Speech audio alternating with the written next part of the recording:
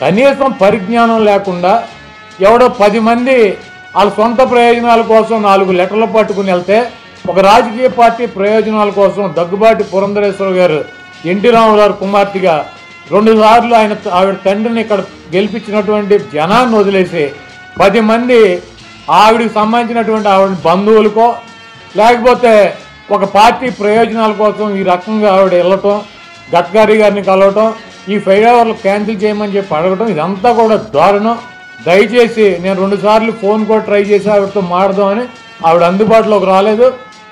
కాబట్టి ఈ మీడియా ద్వారా నేను దగ్గుబాటి పురంధరేశ్వర గారిని ఈ రా గుడివాడ ప్రజలు లక్ష ఎనభై వేల మంది జనాభా ఉన్నటువంటి గుడివాడ ప్రజల తరపున చేతులు జోడించి వేడుకుంటున్నా.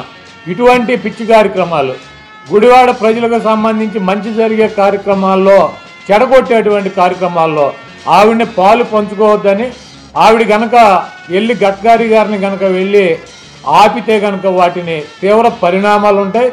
ఈ గుడివాడలో ట్రైన్లో తిరగటానికి లేకుండా ట్రైన్ రోకో చేస్తాం. ఎన్టీ రామారావు కుమార్తె అయినటువంటి దగ్గుబాటి పురంధరేశ్వరరావు విరమించుకోవాలి. ఒక నాలుగు పెట్రోల్ బంకుల కోసం నాలుగు షాపుల కోసం ఇటువంటి కార్యక్రమాలు చేయొచ్చు. ఆవిడ ఆలోచించుకోవాలి. రెండుసార్లు పార్లమెంట్ సభ్యురాలు చేసింది కేంద్ర మంత్రి చేసింది ఇప్పుడు బీజేపీలో ప్రధాన కార్యదర్శిగా ఉంది ఒక పార్టీ ప్రయోజనాల కోసం నలుగురు వ్యక్తుల ప్రయోజనాల కోసం ఇంతమంది ప్రజలను గాలి వదిలేయచ్చా? ఆవిడ ఆలోచించుకోవాలి.